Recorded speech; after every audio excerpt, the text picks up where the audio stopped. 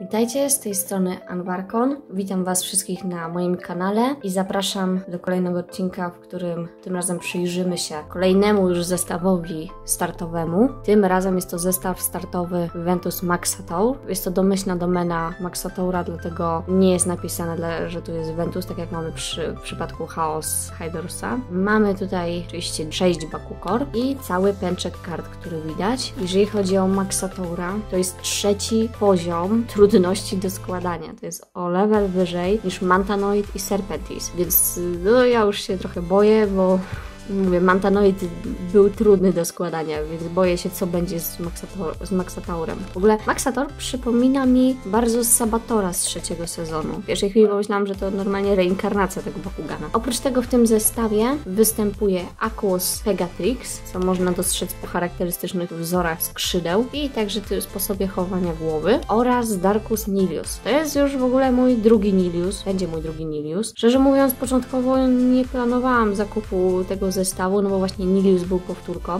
Natomiast w żadnej nie ma single packa z Ventus Maxatourem. A że kolekcjonuję Bakugany głównie z ich domyślnych domen, no stwierdziłam, no okej, okay, skoro nie ma single packów, no to dobrze, zakupię już ten starter pack, bo w sumie Acus Pegatrix może się przydać ewentualnie w TCG. A Nilius, no drugiego Niliusa mogę zrobić z niego customa. Widziałam bardzo fajne customy z Darkus Niliusem, na przykład w wersji kolorystycznej z Mectanium Search albo z wersji kolorystycznej z pierwszego sezonu, albo tej, która pojawia się w trzecim, więc naprawdę jest w czym wybierać. Z tyłu opakowania mamy oczywiście pokazane obie opcje, czyli jak się kory, Bakugany Core otwierają i jak się otwierają Bakugany Ultra. Jest też tutaj pokazane modele 3D Maxotaura z Ventusa, Aquos Pegatrix i Darkus Niliusa. Są to rendery 3D, bo te, no, widać, że te Bakugany wyglądają inaczej. Zresztą w dzisiejszym przemyśle, nawet jak są katalogi, to wszystko to są przedmioty 3D, bo tak jest prościej i taniej. Wspomnienie o apce, także zawartość, wartość, co tu jest. Jeszcze raz pokazanie, że to jest aż trzeci stopień trudności składania. Mówię, to, to będzie straszne. No ale cóż, dosyć gadania o opakowaniu. Przyjrzyjmy się temu zestawu bliska, odpakuję go i przejdziemy dalej.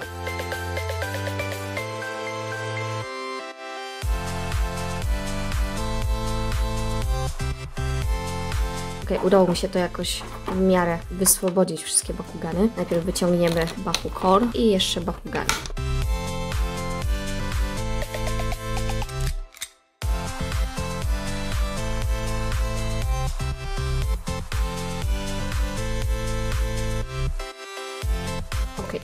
Się wyciągnąć Pegatrix i Niliusa. Przyjrzyjmy się najpierw Bakukol, później odpakujemy karty i wyciągniemy też Maxataura. Spróbujemy go złożyć. Więc tak, otrzymujemy w tym zestawie tarczę, DNA, kolejną tarczę, dwie zielone piąstki, kolejną tarczę, czyli mamy trzy tarcze, dwie zielone piąstki i jedno DNA.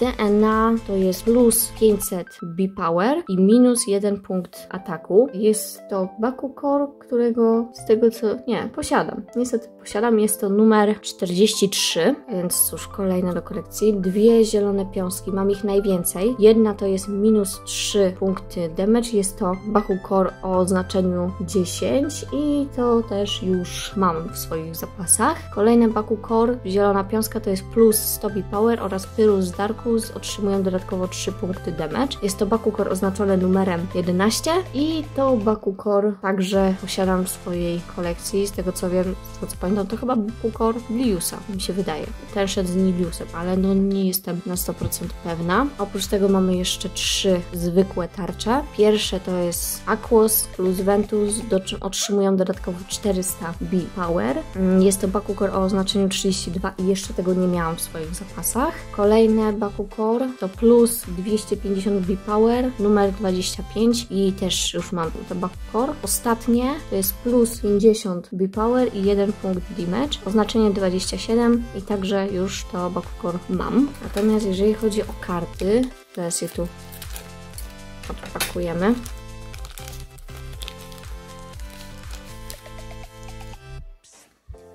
Tu mamy tą kartkę, to nie będę, bo to, to, jest, po, to jest powtórka. To też już, że tak powiem, widzieliśmy w poprzednim też zestawie startowym.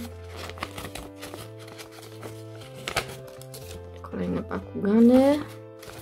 Tu mamy instrukcję z wkładania Ventus Maxotaura, ogólnie Maxotaura. I cóż, no jest to trochę roboty. Będzie ciężko go złożyć, to, to już czuję w kościach. Mm, Mam nadzieję, że nie będę musiała się posikować filmem dodatkowo. Karty, zacznijmy od Niliusa. Ktoś wcześniej na grupie wspominał o misprincie, w sensie, że y, na jednej z kart ten kolor był trochę inny, natomiast mi się wydaje, że moje karty są pozbawione tego defektu. Środkowa karta to jest właśnie tutaj przeznaczona do Polski. Przy okazji mam tutaj też dla porównania kartę, którą dostałam z walizeczką i powiedzmy, że ona ma trochę inny, bardziej jak gdyby intensywny kolor w porównaniu do tych. Natomiast czy to jest jakiś błąd? Absolutnie. Ale to, no, to jest moja z drugiego newsa i miałam rację, że tam piąstka i ena. Ale to jest karta amerykańska, natomiast tu mamy kartę edycji europejskiej. Nilius dysponuje 500 B-Power i 2 punkty damage. Bakukory, jakie są potrzebne dla tego Bakugana, to zielona piąstka i DNA. No i piękny art. Nilius wygląda lepiej na kartach, ale też tylko momentami, bo są karty, w których wygląda gorzej. Ale najnowsza wersja Maximus Nilius jest zajebista. Nie wiem, czy widzieliście, ale polecam spojrzeć. Tyle byłoby o Niliusie. Postawię tu za nim. Następna w kolejności jest Aquos Pegatrix. Mam już Pegatrix z Ventusa, więc Aquos to jest trzecia, jeszcze z Chaosa za chwilę. I teraz tak, o, środkowa karta to są tłumaczenia. Podstawowy poziom mocy Pegatrix to także 500 B-Power i 2 punkty damage, czyli właściwie identycznie co Nilius. Wymaga natomiast dwóch tarcz, jeżeli chodzi o Bakukor i w momencie wytoczenia na pole bitwy, kiedy się otworzy na danym Bakukor, w tym przypadku to dany Bakukor jest właśnie zwykłą tarczą, to dodatkowo wtedy dostanie 100 B-Power i 3 punkty damage, co jest takim miłym bonusem w rozgrywce. Na tym arcie wygląda minimalnie lepiej niż w kolorystyce Ventusa. Aquos bardziej pasuje Pegatrix niż Ventus, a przynajmniej Ventus w tej formie artu na karcie, który został zaprezentowany w wersji, w wersji Ventusa, bo Ventus Pegatrix w anime wyglądała ciekawiej. Natomiast Aquos nawet zaskakująco jej pasuje. Jestem zaskoczona, bo nie byłam zbytnio przekonana do tego Bakugana, ale nie jest źle. Naprawdę nie jest źle. Kolejne trzy karty to karty postaci Maxator Ultra. Maxator Ultra, Bakugan Shiny Riot wymaga tarczy i zielonej piąski. Podstawowy B-Power to 300 i 5 punktów damage. Grafika jest jaka jest, to jest taki bardziej przygaszony, no ale wygląda dobrze i mówię, to jak dla mnie Maxator jest jak gdyby taką reinkarnacją Sabatora. Nie wiem, czy komukolwiek Sabator też się jakoś kojarzy, ale no to takie, taka reinkarnacja w nowej serii Sabatora. Ogólnie na arcie wygląda przyzwoicie. Jest to dość popularna grafika z Maxatorem, wykorzystana na stronie Bakugan w wielu różnych miejscach. Na razie odłożę tutaj na środek i przyjrzyjmy się kolejnym kartom akcji. Co my tu mamy?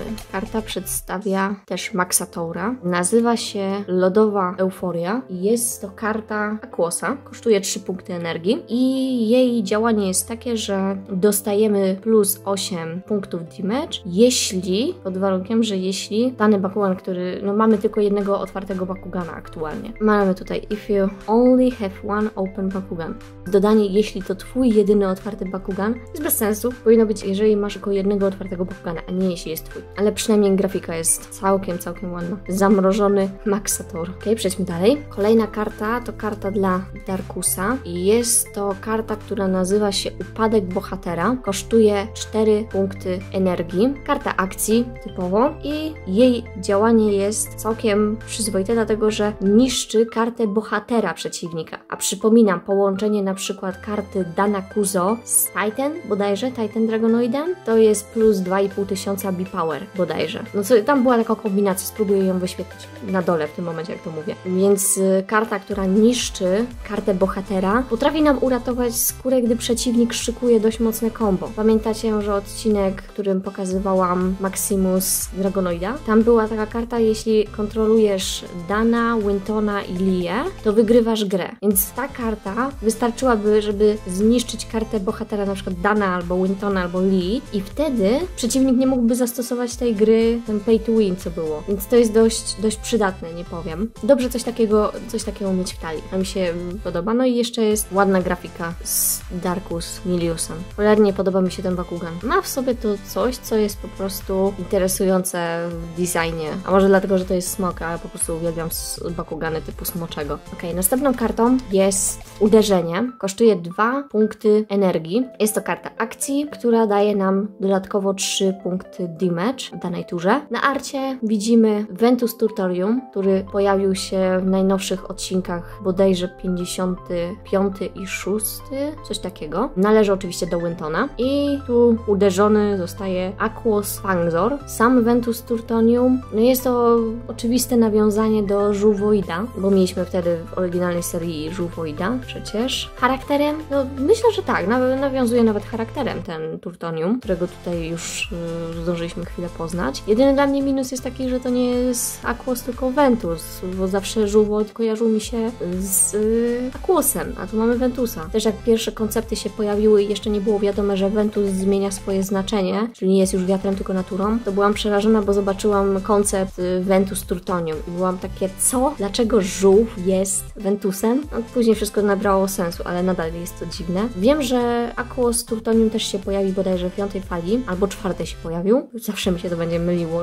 Nie znam całej listy na pamięć. I na pewno postaram się kupić jego wersję Ultra w Aquosie właśnie z sentymentu do oryginalnego Aquos Żółwoida. No, to tyle o tej karcie. To by było tyle, jeżeli chodzi o karty mocy, gdyby. Zanim jeszcze Maxatorem się zajmiemy, to wezmę Niliusa, pokażemy. Darkusa Niliusa już prezentowałam w swoim pierwszym filmie, kiedy to zamówiłam Bakugany prosto ze Stanów. Już wtedy zachwycałam się jego designem. Mamy strzałeczkę przy okazji. Jego dbałością o szczegóły. To był pierwszy, pierwszy Bakugan właściwie, którego wtedy chyba odpakowałam. Dlatego no, byłam zachwycona jego formą. Natomiast jest to już mój drugi Nilius, więc teraz kminię co z nim zrobić. Może zrobię customa, kto wie. Ma bardzo ładną bryłę. Ale otwórzmy go na tym Bakukor. Proszę bardzo, ślicznie, bez problemu się otwiera. To co już zwracałam uwagę, to ma miniaturowe łapeczki. Wyrzeźbione miniaturowe łapki. Wewnątrz skrzydeł też niesamowita dbałość o szczegóły. Bardzo chciałabym zdobyć wersję deka, bo wersja deka Dragonoida i Niliusa, bo robią wrażenie te designy, a z pewnością już Niliusa. Na ogonie ma zaznaczone 500 B-Power, krywa się z kartą. Coś już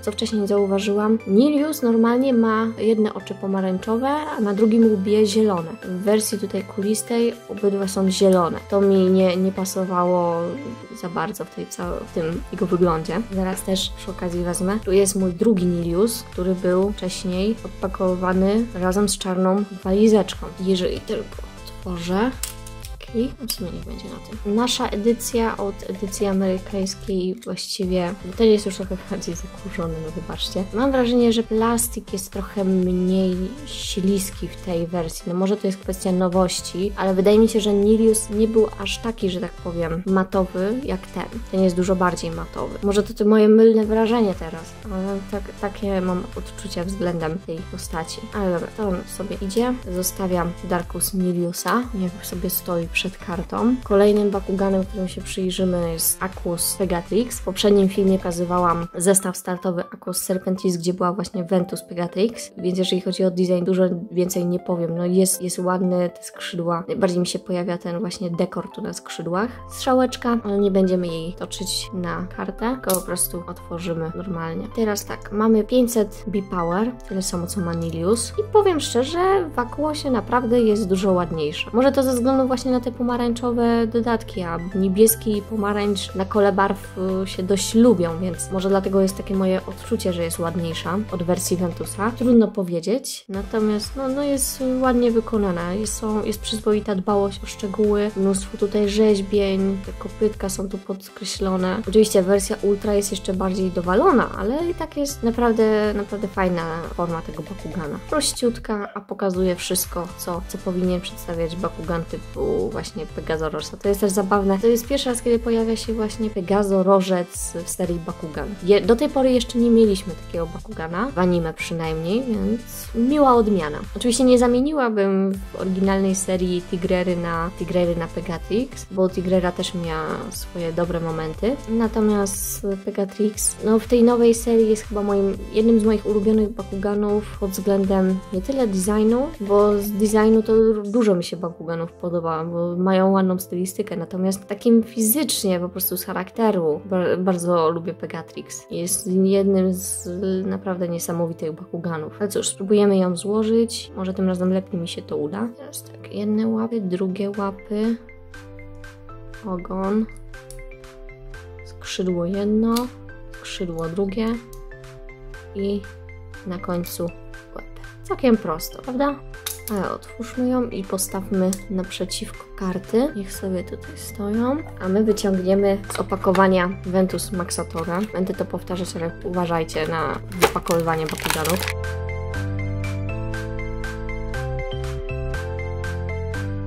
Się jakoś. No, Maxator jest ciekawym, ciekawym przypadkiem. Przyznajcie, jest naprawdę ładnie zrobiony. Może Ventus to nie jest najlepsze, co mu pasowało. Osobiście najbardziej lubię Maxatora właśnie w Aureliusie, bo najbardziej mi przypomina wersję Sapterry. Będę to powtarzać, bo dla mnie Aurelius mógłby pod względem kolorystyki Bakuganów dalej grać Sapterrę. Naprawdę nie wiem, co, co, jakie miało, co, że tak powiem, twórcy chcieli osiągnąć przez dodanie nowej domeny i usunięcie Saptery. Tutaj jest wypłaszczone miejsce, to oznacza, że tu na grzbiecie Maxator ma magnes. Tu rogi są delikatnie, o, można je poruszać, samo łeb. Dwie łapy też są, widzicie, w różnych kątach. I tylko te łapki są, jak widzę, manualne. Bardzo mało Bakuganów już ma manualne części na swoich, swoich formach. I ten dziwny ogon. Wiele Bakuganów w wersji Ultra ma magnesy na ogonach właśnie. Garganoid bodajże miał chyba magnes na ogonie. Natomiast na plecach magnes miał także Ultra Dragonoid. Z kolei na ogonie jeszcze miał Nilius, bo był podobny do Garganoida. Ale cóż, na razie go odstawię. Jeszcze raz przyjrzymy się instrukcji, jak składać Maxatora. Jeżeli dobrze widzę, najpierw trzeba tu złożyć łapy, później nogi, zawinąć ogon i dopiero łeb i zamknąć rogami. No zobaczmy. Złożę od razu nogi, będzie prościej. Ok, zacznijmy, czyli tak. Składamy i tu. O, kliknęło, to znaczy, że jest ok. Zawijamy. Znowu klik, czyli jest dobrze. Teraz musimy schować tutaj nogi. O, przy okazji to 300 power ma.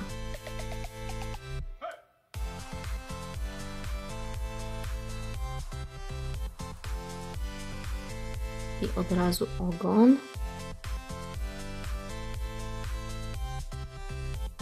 I mamy te.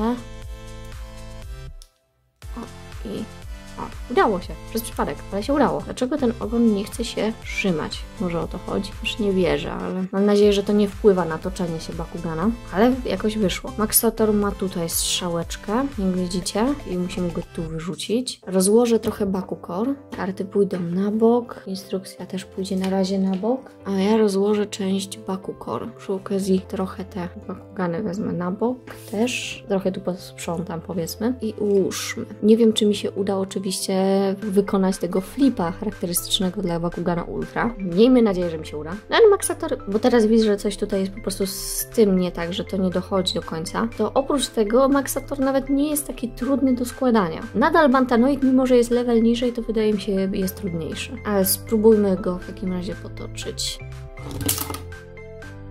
Nie wyszło. Nie mam siły trenować z nim tego flipa.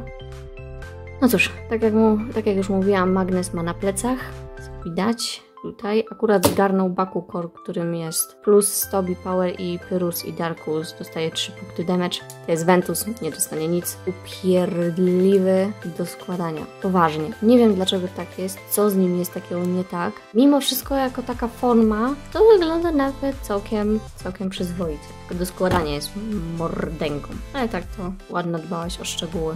Zdejmę mu to Bakukor z pleców strasznie masywny przód i ten ogonek. No dobra, postawię go, niech sobie tutaj stoi, ta złowroga bestia. I cóż, to by było w sumie na tyle z tego zestawu. Jak Wam się podobają te Bakugany, jak Wam się podoba Maxator Ultra, Ultra co sądzicie o tej wersji Acus Pegatrix? Mi się ona zaskakująco podoba. I w sumie powiedzmy, że mogę, no a Chaos nadal wygrywa, ale powiedzmy, że Acus też jest całkiem do, do przyjęcia. Nie wiem, co sądzicie o tym Maxator, Maxatorze w ogóle? Macie tego Bakugana? Czy też macie problemy ze składaniem takim, czy może nie macie? Mm, Piszcie w komentarzach. Zostawcie łapkę w górze, jeżeli Wam się materiał ogólnie podobał. E, Zachęcam także do subskrypcji mojego kanału. I cóż, mam nadzieję, że zobaczymy się w kolejnym materiale, kolejnym odcinku. W sumie możemy to już nazywać jako odcinki, patrząc po tym, ile ich jest już e, nagranych. A cóż, mam nadzieję, że się podobało i do zobaczenia